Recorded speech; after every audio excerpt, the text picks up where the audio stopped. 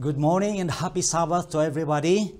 Our sweetest greetings to you from the uh, uh, studio of the Hope Channel.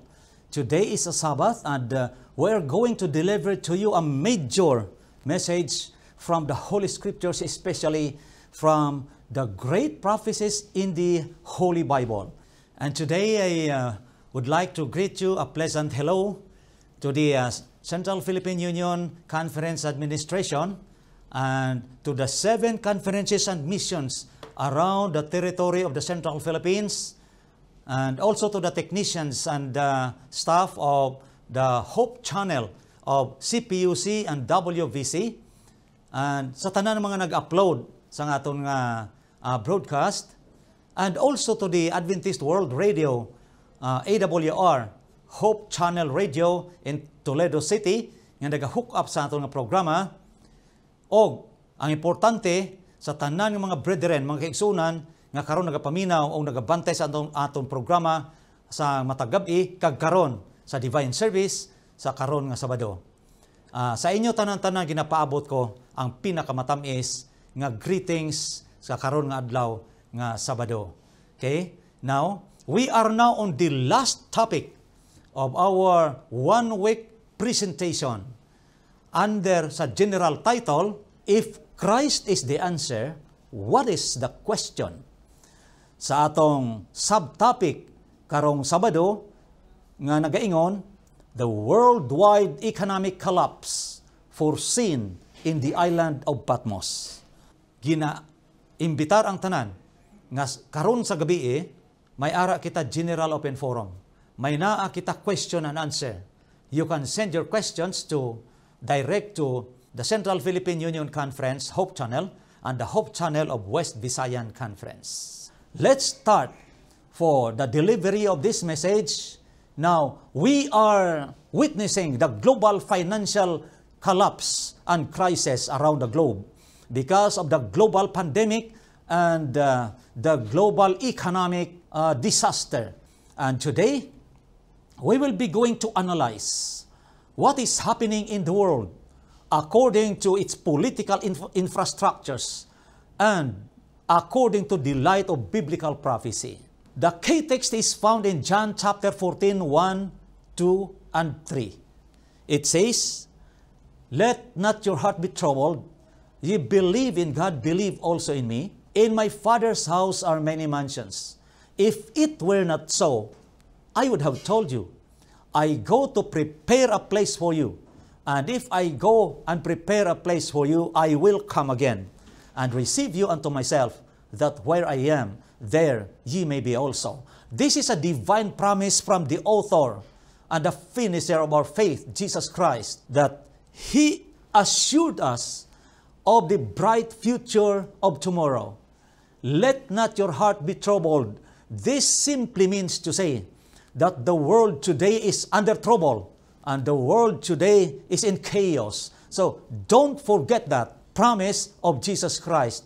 Don't be afraid because the one who is in control of the universe is the one giving us the assurance of the utopia that is coming. Utopia that is a world without end and a world without disgrace.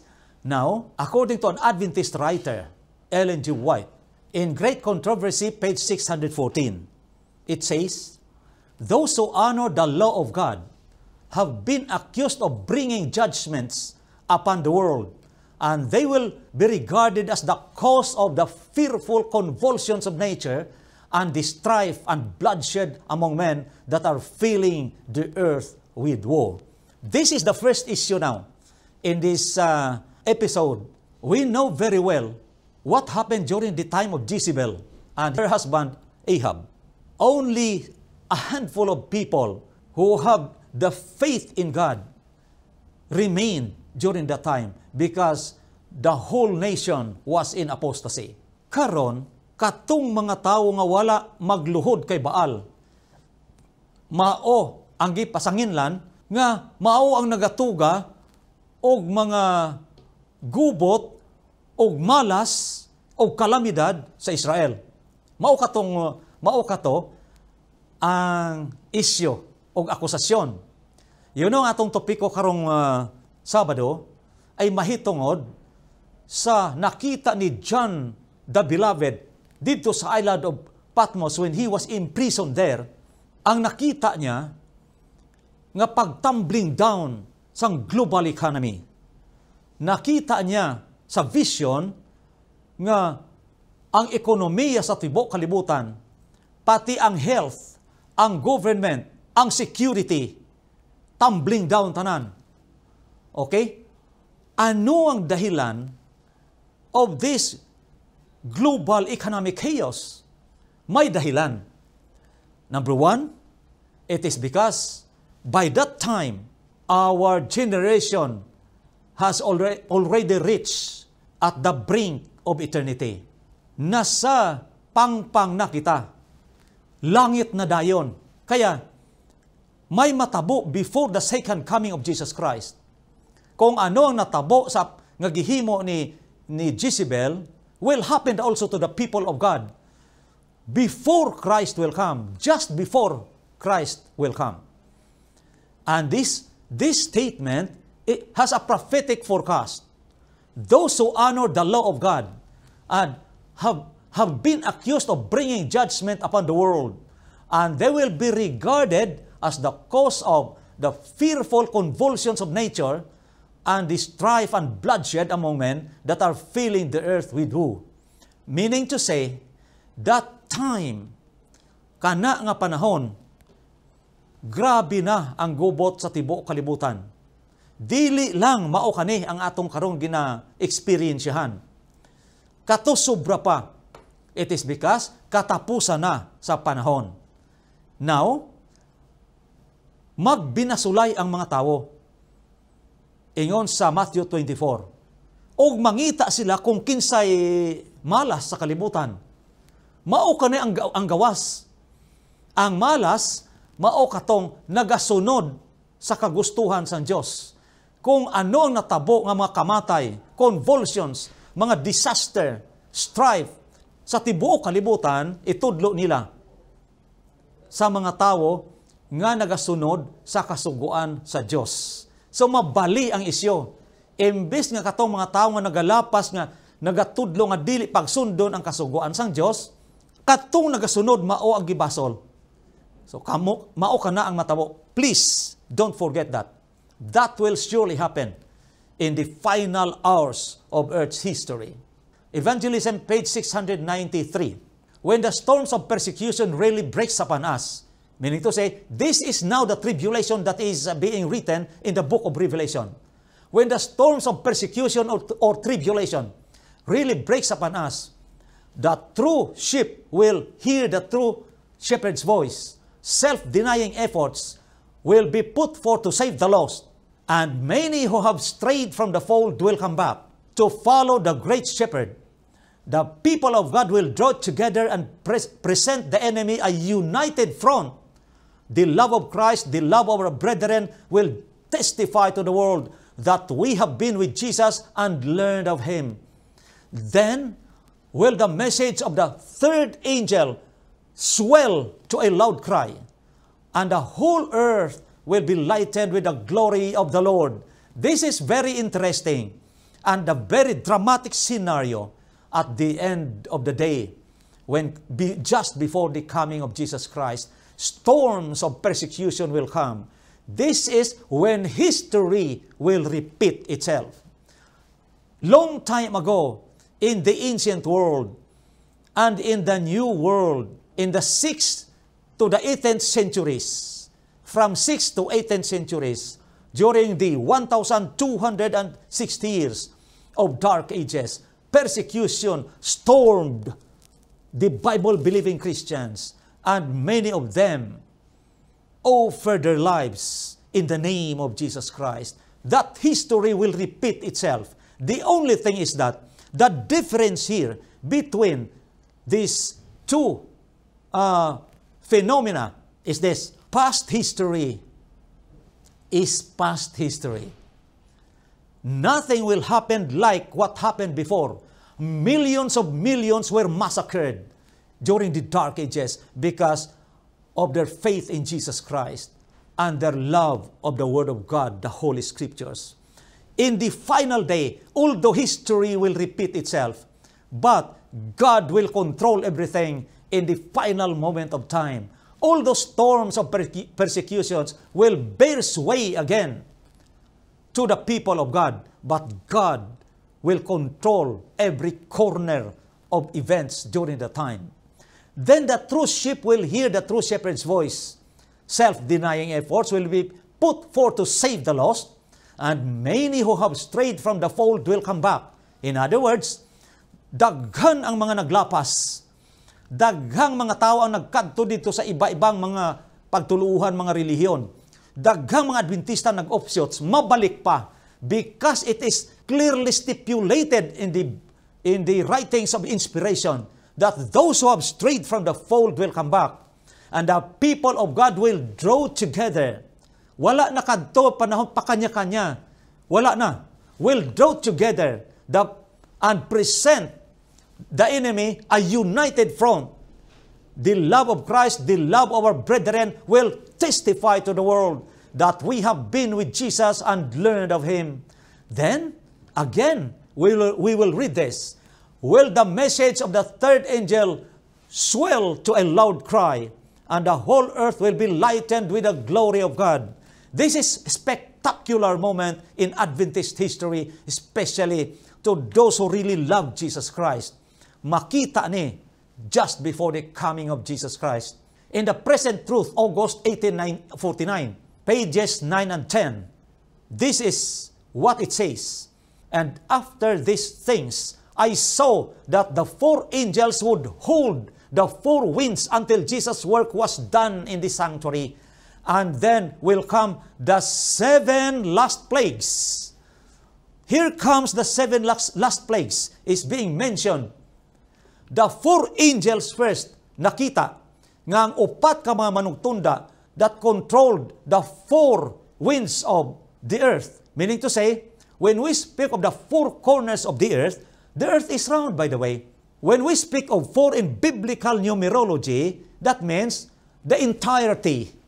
Okay, so the four angels who are holding, holding the, the four strong winds to blow upon the earth, gihold nila anay, until sa time, si Kristo nakita nga nagbarog, kay tapos na ang iyang intervention dito sa heavenly sanctuary. When the intervention of Jesus Christ will be finished, then probation will close and the seven last plagues will follow. This is very interesting prophecy in the Holy Scriptures. This is now, we are now uh, on the timing on how the seven last plagues will enter into the scenario. Revelation chapter 8, verse 5, it says, And the angel took the censer and filled it with fire of the altar and cast it into the earth. Mga kaigsuunan, sa Jewish sanctuary before, ang high priest may insensaryo nga ginabutangan og kamangyan tapos ginasindihan para masunog. Ang aso sa kamangyan, humot kaayo. Mao kato ang aso nga naga-neutralize sang sang internal chambers of the of the Jewish sanctuary. Okay? Kag pag mag-aso na, nagakahulugan nga ang mga pag-ampo sa mga balaan gibaton. Now, eh kung halimbawa, gilabay ang insensaryo, anong matabo sa mga pagampo? Wala na'y mabaton. That will be the closing of probation. The final closing of probation. Kay wala na sa high priest ang insensaryo. That is Revelation chapter 8 verse 5. Ang insensaryo gilabay. Therefore, walay mga pagampo nga batunon Mauba ka na ang buot ipasabot sa Revelation 8.5? Okay, padayon ta. Revelation 8, 3 and 4. Okay. And another angel came and stood at the altar, having a golden censer. And there was given unto him much incense. Dili lang kamay, daghana ang gihatag. That he should offer it with the prayers of all the saints upon the golden altar which was before the throne. Dinhi mga kaigsuunan sa verse 3, nakita nga ang anghel nga nagagunit og insensaryo gihatagan og daghan nga insinso kamangyan para i-offer sa tanan nga mga panalangin sang mga balaan. Meaning to say, kanigaling usok aso aso uh, sa insensaryo nagarepresentar sang mga ang pag-ampo sa mga balaan. Verse 4, And the smoke of the incense which came with the prayer of the saints ascended up before God out of the angel's hand. Dinhi, ato lubos na mahangpan kung ano ang kahulugan sa insensaryo. In the earthly sanctuary, pag mag-aso ng insensaryo, tanan nga mga pag-ampo, batunon. Okay? Mahumot ang kamangyan nga, gina, nga may aso, nga nag-aso, gikan sa insensaryo. Meaning to say, symbolically, kung kita nagaampo, humot kita sa atubang sa Diyos. Kung ang tao wala nagaampo, mabaho sa atubang sa Diyos. Pero ang nagaampo, ginapatawad sang Diyos. Kay ang insensaryo nga mao ang nagrepresent sang mga pagampo, ginabaton sang Diyos. Testimonies Volume 2, page 691. The probation of those who choose to live a life of sin and neglect the great salvation offered closes when Christ's ministration ceases just previous to His appearing in the clouds of heaven. This is it. Mas klaro na gidi. Ang probation o ang tsansa nga maluwas sa mga tao nga nagkabuhi sa pagpakasala matapos kung si Kristo magtapos man sang iyang ministeryo sa heavenly sanctuary. This is called close of probation. Anong matabo?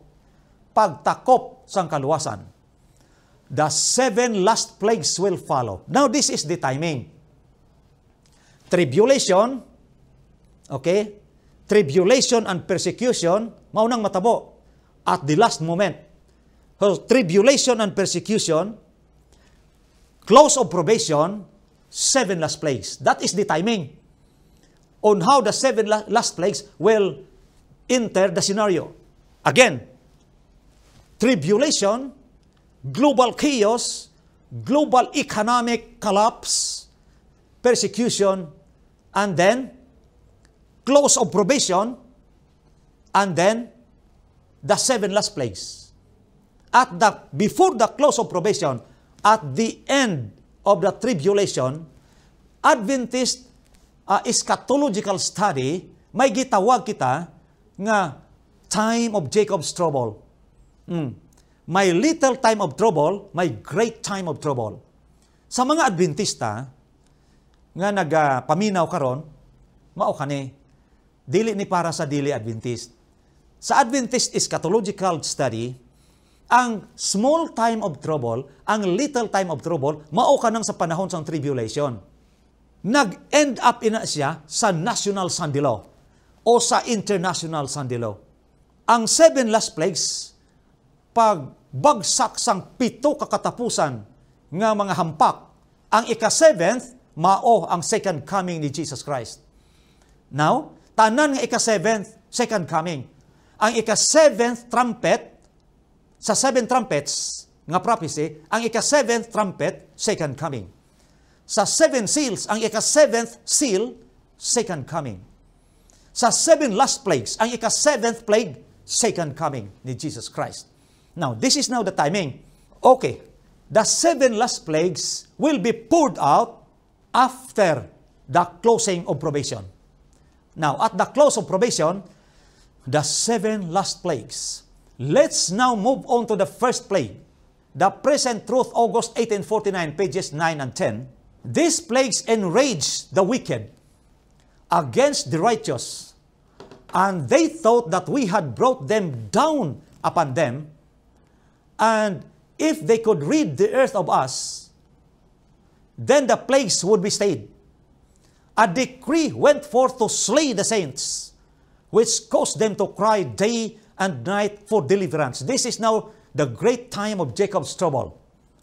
As we know it, in our eschatology. Okay, dinhi, ang decree o ang death decree will follow pag, pagsulod na sa seven last plagues. Mas masunod ang death decree. By the way, paano ma-evangelize ang tibuok nga kalibutan nga makahibalo sila sang kamatuoran bago magbalik si Kristo o bago mag-abot kaning seven last plagues. Let's go back gamay lang. Pag-abot sang time of trouble, ingon sa Revelation chapter 13, when you cannot buy and you cannot sell unless you have the mark of the beast. Dito ang ma-start ang little time of trouble. Now, dito, matabo ang final outpouring of the latter final loud cry, and final sealing. Ang final outpouring of the latter that is, latter of the Holy Spirit, final outpouring sa iglesia una, sa church, so that the whole church can join the final loud cry We cannot join the final preaching of the gospel, that is final outcry, final preaching. We cannot join that final preaching of the gospel kung walay balaan ng Espiritu nga mag-ulan sa iglesia. So unang church, and then the whole global community. Pag mawalihan na, pag mawalihan na, pag makahibalo ng tibok kalibutan, because during that time, the preachers of truth will become the center stage of the world sila na mao ang ma-headlines sa mga balita sa tibok kalibutan. Og thousands, thousands from the higher echelon to the lower echelon of the of the people in the world shall be converted in mass during the time before mag-close ang probation. If the preaching is finished according to Matthew 24:14, after the preaching of the good news of the kingdom in the world, then the end shall finally come. Then probation will close. This is now the diagram of the time of trouble. After the preaching of the gospel, after the persecution and tribulations, all of those, persecution against the Bible believing Christians and the followers of Jesus Christ, probation will close. At the close of probation, the seven last plagues will follow. It is because pag close ng probation, wala na'y mamatay pa sa mga anak sang Diyos. Now, the first plague, which is cancerous issues. Revelation 16.2 And the first angel went and poured out his vial upon the earth, and there fell a noisome and grievous sore upon the men which had the mark of the beast and upon them which worship his image. Dinhi makita mo. You see the uh, impact of the first plague. Sa first plague pa lang, mahibawan mo na kung kinsay may marka sa hayop nga mao ang nag-ilad sa tibok kalibutan. Kapag ka ma, mag, makaangkon kag mga grievous sores or cancerous sores, sigurado nga may marka ka sa hayop. Mao ka na, Nakahibalo kita kung ano markas ng Diyos. Sa uh, Ezekiel chapter 20, verse 12 and 20. Verses 12 and 20. First plague, grievous source. Sa may marka sang hayop. Sa walay marka kay nagatuman sa Dios, wala kada alabot. So, sa may, har, may, may, may marka lang sa hayop. Kung managtuman ka kadto pero naglapas ka karon kag maabutan kita, ha? Sa paglapas, may markas ang hayop, delikado na. Second plague, the sea of blood. Okay? And the second angel poured out his vial upon the sea, and it became as the blood of the dead man. And every living soul died in the sea. This is it. Revelation chapter 16, verse 3. Mao kini kini nga panahon ang dagat mahimo nga dugo sama sa dugo sang tawong patay. Kinsay makatravel sa dagat, kung mao ka na, may pangutana din he. Nga no, gilambigit ang dagat. Anong labot sang dagat? Sa nagakatabo nga tribulation sa kalibutan. Anong labot sang dagat? Mao kani. Ngano? Ngano nga nadala ang dagat, nahimo nga dugo. Ug ang mga mananap nga naa sa dagat nangamatay. Kay ang tubig nahimo nga dugo. Dinhi mga kaigsuunan, aton mahangpan immediately, we can understand this immediately. Why the sea is being involved in this kind of phenomena? It is because the sea, the ocean, is the avenue of commerce. We know very well that the South China Sea nagadala og mga 5 trillion dollars nga negosyo matag tuig. Mga 5 trillion dollars ang negosyo da nga nagaagi back and forth. Meaning to say, ang dagat is an avenue of commerce. Karon, according to Revelation chapter 13, ilagin pa implement sa mga anak sang Dios ang economic embargo. Because kung basahon ang Revelation 13, unless you have the mark of the beast, you cannot buy and you cannot sell. What does it mean? It simply means to say, there is an economic approach sa Revelation 13. Imagine that. You cannot buy, you cannot trade, no? unless you have the mark of the beast. You cannot trade, you cannot buy. You don't have any right anymore to do whatever you want to do because of that decree. Now, kani, kay ang dagat nahimo nga dugo. Dinhi, aton makita kung paano ang Diyos nagbalos o nagbalik sa il ilaha sang ilang ginhimo sa mga balaan. This is second plague. Third plague, rivers of blood. And the third angel poured out his vial upon the rivers and fountains of waters, and they became blood. For they have shed the blood of the saints and prophets, and thou hast given them blood to drink, for they are worthy. This is it. Meaning to say, at the, at the end of the second plague, nga ang second plague ay ang dagat na himong dugo. At the third plague, ang mga tuburan sa tubig na himong dugo. Karon, ang ginainom sang mga tao sa tibuok kalibutan, gikan sa mga tuburan sang tubig, dugo na natanan. Di ta mahibulong kung pati ang mga faucets, mahimo nga dugo ang nagagawas. Kay walay tubig nga pure kana nga panahon. This is actually a global chaos. This creates a global uh, breakdown of psychology of the people. Kay wala na sila kadtuan. Ha? Hampak na lang kada sa wala, hampak man sa tuo. Wala na mahimong kalibutan. Samantalang sa panahon ngayon eh, ang mga anak sang Diyos naa sa mga isolated places. Dito na sila nagahuwat sa ikadawang pagbalik ni Ginoong Heso Kristo. And this means, clearly, nga ang dugo sa mga balaan, ilaman, nga ginpatay nila ang mga balaan. Mauna nga dugo sa mga balaan, nagbalik sa ila, sila ang gibalihan. Muna nga nag-inom sila sang dugo nga tubig. Kag wala sila kuan nga pure nga tubig. Fourth plague, the scorching sun. And the fourth angel poured out his vial upon the sun, and power was given unto him to scourge men with fire. And men were scourged with great heat and blasphemed the name of God, and they repented not. Revelation 16, 8, and 9.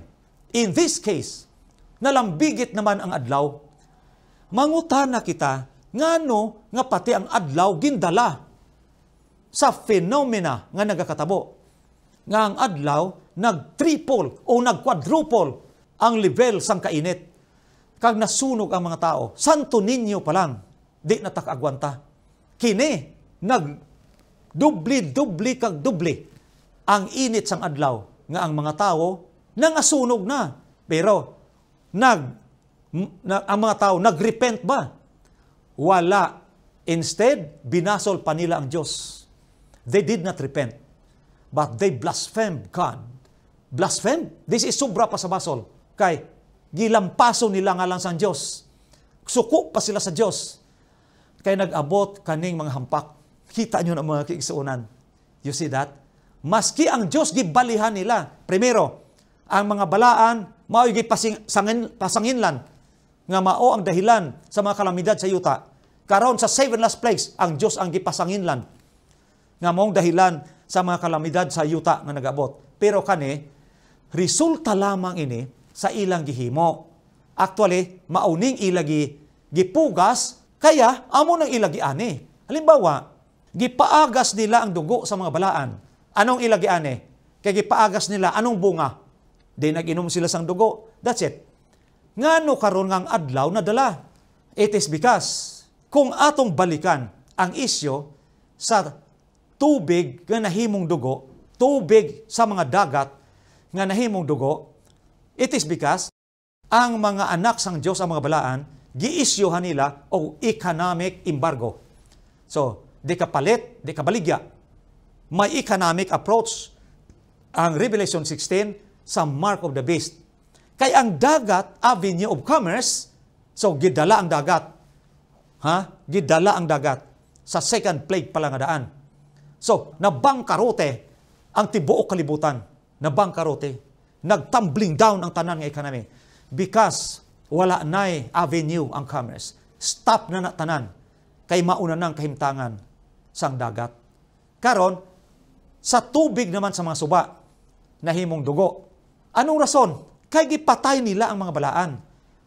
So, gipaagas nila dugo sa mga balaan. Di, pinainom sila sang dugo.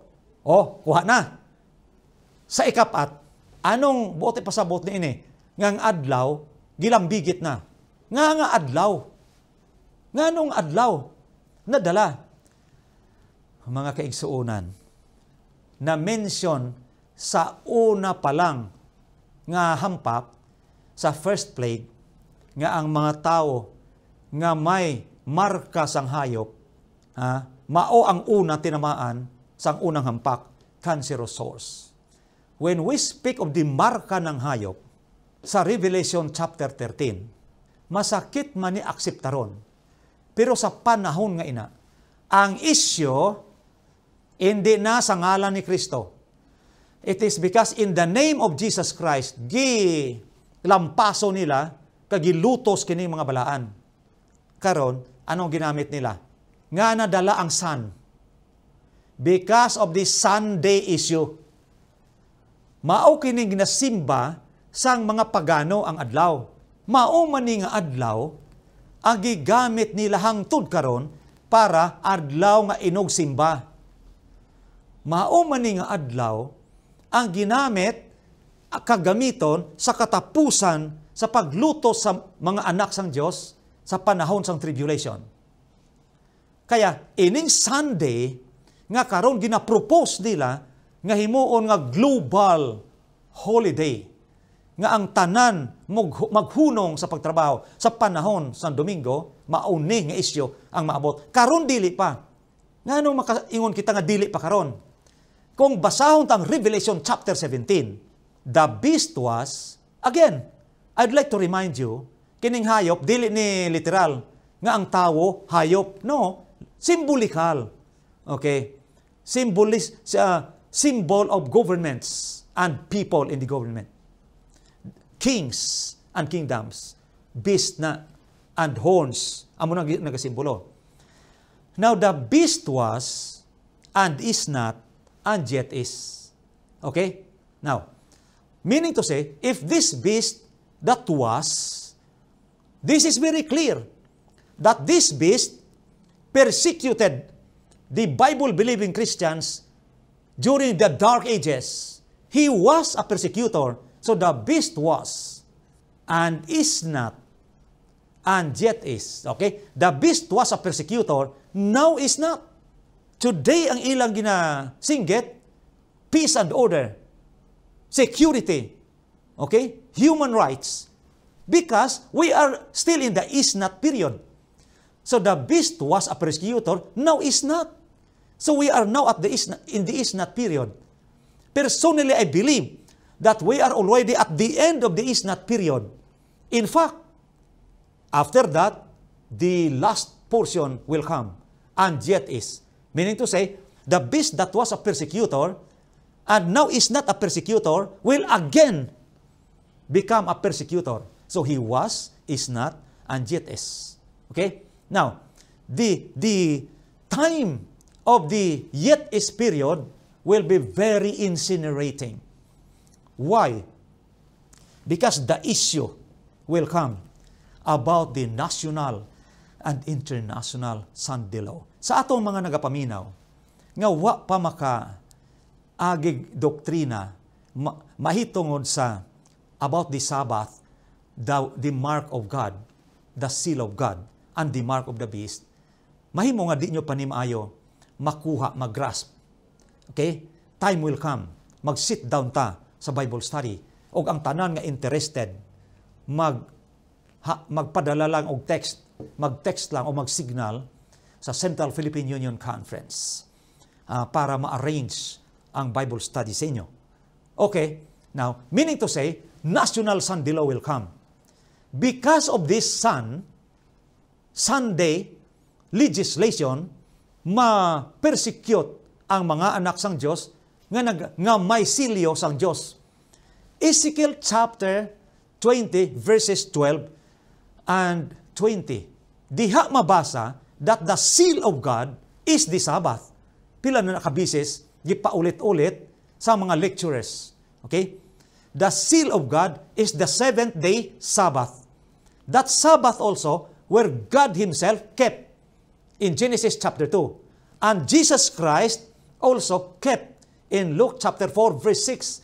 Even Saint Paul, Saint Paul, the apostle to the Gentiles, kept the Sabbath in Acts chapter 17, 2 and Acts chapter 18, 4. Okay, 1 to 4. Now, this Sabbath will become a controversy in the final day. And the Sun legislation will arrest, will attempt to arrest the Sabbath-keeping people. And so, the Sunday law will be declared. That's why, at the fourth plague, ang adlaw na lambigit. Kaya pinainit siya todo. Nahang panata naton kaina, nga ang first plague, may kahilabtanan sa mark of the beast nga nagsunod sa ilang marka. So, sila ang una, tinamaan sa unang hampak, cancerosaurs. Nga ang second plague, nga nahimo nga dugo ang dagat, ang ilagin pa-implement that the people of God cannot buy or cannot sell, sila ang binalikan. Kaya ang negosyo sa kalibutan, natunaw, tungod, wala na'y maagyan ang avenue of commerce.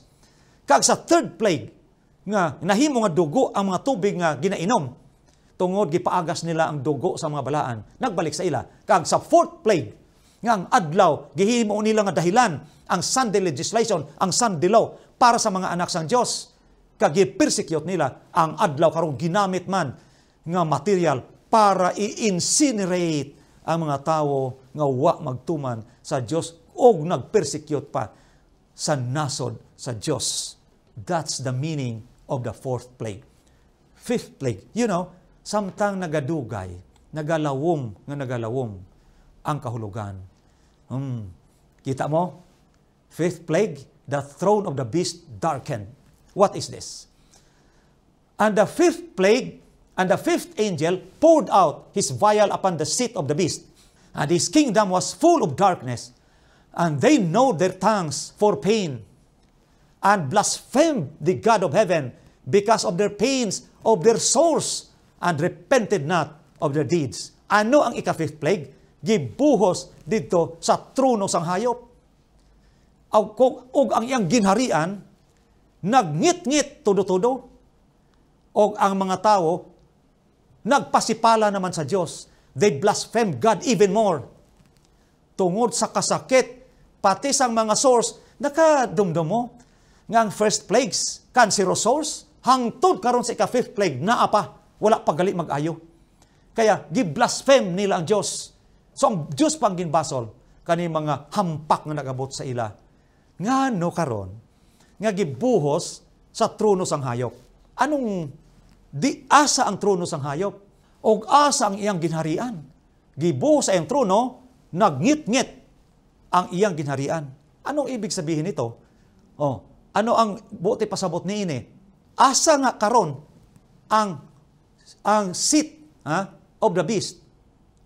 Mangutan ako, where is the seat of the Philippine government? In Malacanang. Okay. Where is the kingdom of the Philippine government? The whole Philippines. Okay na? Okay? Now, where is the seat of the beast? Who was a persecutor and now is not, and yet is again become a persecutor, a global dictator and a persecutor. Where, where is that? And where is his kingdom?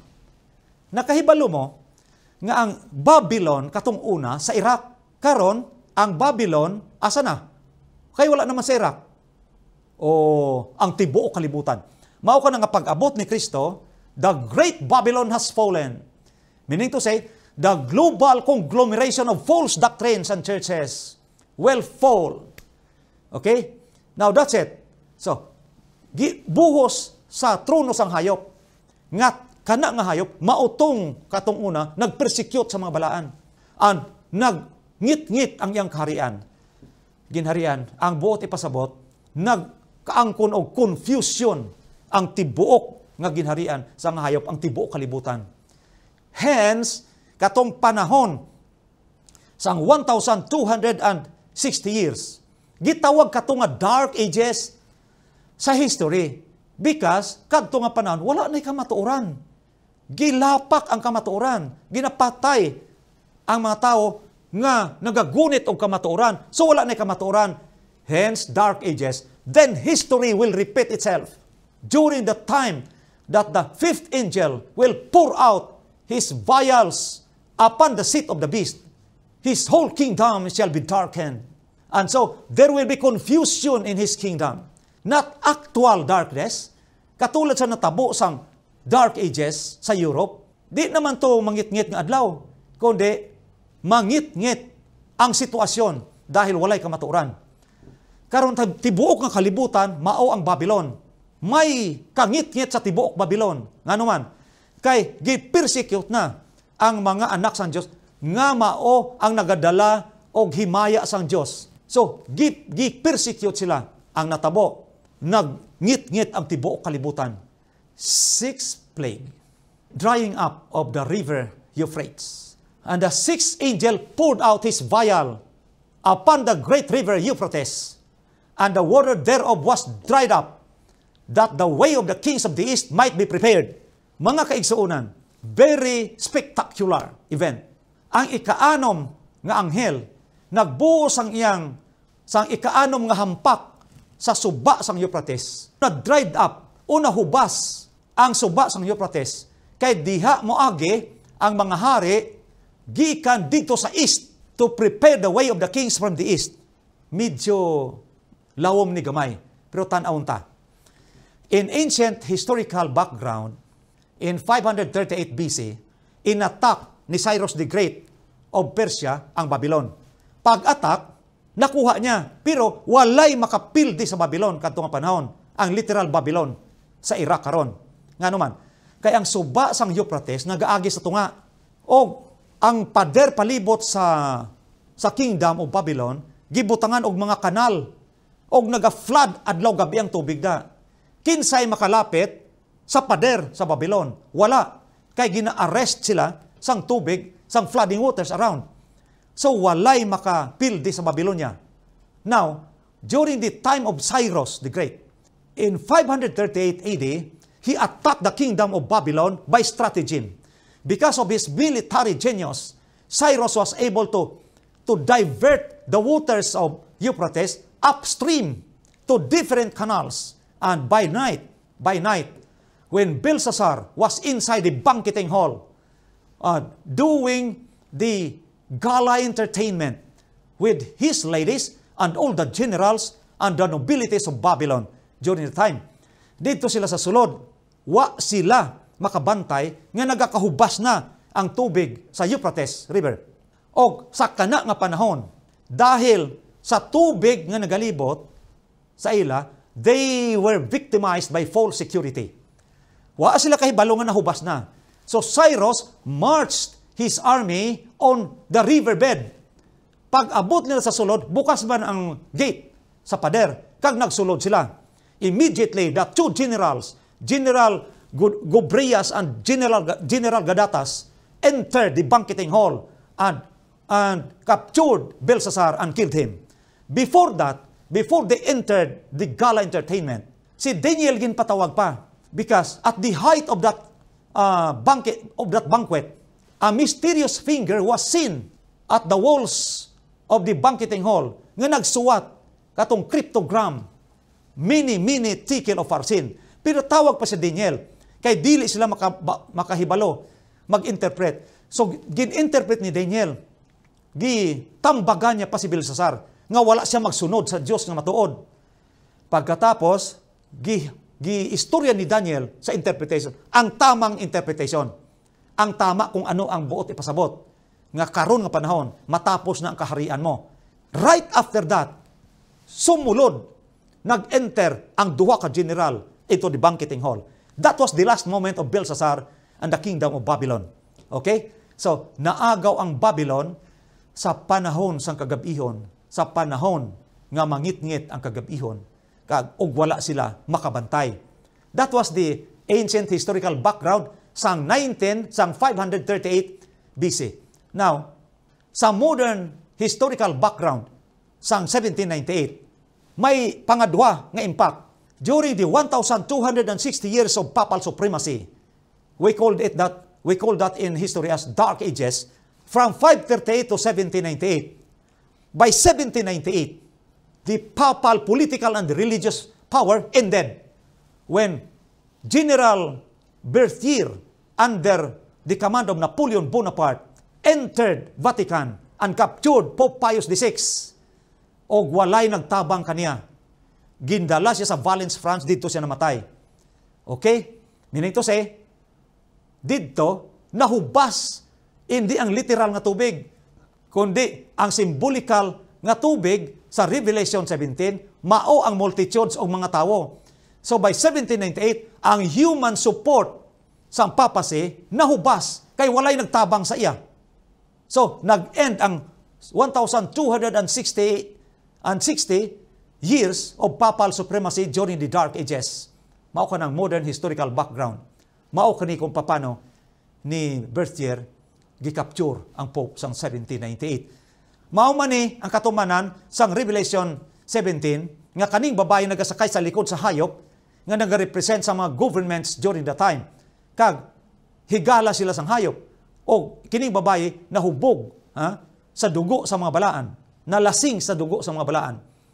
Later on, primero, kasama sila. Later on, gipatay siya sang hayop. Mauto ang dahilan nga ang papacy nag-end sa 1798 because of this prophecy. Daniel 7, 44 and 45. But tidings from the east and out of the north shall trouble him. Therefore he shall go forth with fury to destroy, and utterly to make away many. And he shall plant the tabernacles of his palace between the seas. In the glorious holy mountain, yet he shall come to his end, and none shall help him. This is the message for the day. Sa nga panahon, tama jud nga walay nagtabang sa iya karon makadto ta sa 7 sa seventh plague hailstorm and the seventh angel poured out his vial vial into the air and there came a great voice out of the temple of heaven from the throne saying it is done nakita niyo mga kaigsunan sa panahon nga gibuhos ini sa hangin ha may tingog ha nga malakas gikan sa langit gikan sa templo sa langit nga nag-ingon, tapos na ang buot ipasabot. Tapos na ang atong tanang mga pagluha. Tapos na ang mga konsumisyon o mga kabiguan o mga pag-antos din sa sa yuta sa idalom sang adlaw. It is done. And there were voices and thunders and lightnings and there was a great earthquake such as was not since men were upon the earth. So mighty an earthquake and so great. Revelation 16.8 Pag-ingon sang tingog sa langit, it is done. Nagsunod dayon ang mga kulog o mga kidlat nga malakas kaayo, kusog kaayo, nga wala pagid matabo. Ha? Gikan sa tong panahon nga may tawo sa yuta. Kay kadtong mga kidlat o mga kulog o mga linog, kusog kaayo, nga wala pa matabo. Gikan kadto kadto lang nga panahon. Revelation 16:8. And there fell upon a great hail out of the of heaven every stone about the weight of a talent and men blasphemed God because of the plague of the hail, for the plague thereof was exceeding great. Hangtod karon. Sige pabasol nila sa Dios kay may tupa nga mga yelo. Yelo ba ning hail? Okay? Dagko. Ang isa ka talento din he, sa kiluhan, 34 kilos, 34.2 kilos, nga nagbagsak sa yuta. Kag ang mga tao, nagbasol naman sa Diyos, gikundem nila ang Diyos, gin-blaspheme nila ang Diyos because of the plagues of the hail kay kini was exceeding great. I visited the Griffith Sky Observatory sa Bukiran, San California. Dito ko nakita ang ginatawag nga meteorites, kanang gagmay lang. Dito sa sulod. Okay? And you know, I was very, I enjoyed so much uh, touching the stone. Uh, iron stone, kani, iron stone. Gamay lang. Oh, gamay lang, pero bugat kayo, mga 122 kilos. O 179 kilos ang isa. Uh, nagbagsak ni sa, sa yuta, pero dili daghan. Pila-pila lang. Tapos, ila nga gikolek. Okay? Kadtong mga hail sa Revelation 16, daghan kaayo. Nga ano pa, kinsay makatiis. Maski asa ko magkadto. Sige ang ulan sa mga hails. Kaya ang ilagihimo, gikondem na lang nila ang Diyos. Mao ka nang giingon sa Revelation chapter 6. I think verse 15. Nga kadtong mga isganan, mga tao nga mga dagko sa kalibutan, mga hari, pati itong mga pobre, nagtago na lang sa mga yungib. Kay di na sila makatiis. Dili nila maatubang ang challenge. Gi-challenge nila mga anak sang Diyos, gi-challenge man sila sang Diyos. Kagkaron, nagbali ang sitwasyon. Sila ang tinamaan. And the dramatic rescue followed the second coming of Jesus Christ. Meaning to say, pagkatapos sang sixth plague, at the end of the seventh plague, Christ will come. This is a spectacular phenomenon at the last moment of Earth's history. Then, this time, the people of God will shout in victory because ang atong manluluwas, the Savior of humanity, the Savior who gave us His life for us to, to be saved. And He gave us the inspiration for the future. Mauni ang nag-ingon sa aton, dili ka mo mahadlok. Kaya, ang inspiration nag-ingon sa aton, Christ is the uniting link in the golden chain which binds believers together in God. There must be no separating in this testing time the children of God constitute one united whole in Christ. Meaning to say, at this testing time today, at this time of crisis, there must be no separating anymore. Dapat makita mismo sang Diyos kag sang mga tao nga ang mga anak sang Diyos, ang mga Adventista, mag-unite, puwersa para sa pagwali sang maayong balita the children of God constitute one united whole in Christ. Selected Messages, Book 3, pages 21 and 25. This is an inspiration for the Seventh Adventist people and also to the Christian people as a whole. Mao ka nang giingon ni Kristo, ano man ang matabo sa kalibutan karon. This is now the testing time. This is not yet the final end. Hmm? Nakasulod pa lang kita sa pamuno sang ginatawag final end and not yet the end but the pamuno the beginning of the final end. Okay? Ano man ang matabo sa kalibutan ano pa man nga mga pandemic ang magsunod ano man nga mga tribulation ang ginapaabot kag magbagsak sa kalibutan. Ingon ni, ni Ginoong Hesus Kristo let not your heart be troubled ye believe in God believe also in me In my Father's house are many mansions. If it were not so, I would have told you. I go to prepare a place for you. And if I go and prepare a place for you, I will come again and receive you unto myself, that where I am, ye may be also. This is an, an inspiration for a lifetime. And today, despite of all the challenges and confusion in the world, we are still, still, we are inspired. Why? Because of this assurance of a lifetime. Assurance from the author of history and assurance from the author of life, Jesus Christ. May this inspiration will give us more uh, guts on how to face the challenges. Forget the seven last plagues. Okay? Forget the tribulation.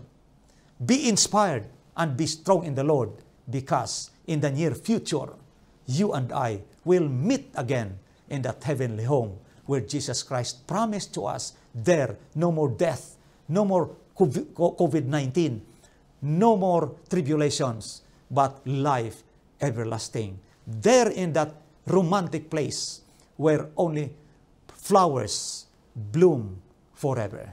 This ends our message for this Sabbath. Thank you very much, beloved brethren. May God bless you, may God bless you, and God bless you.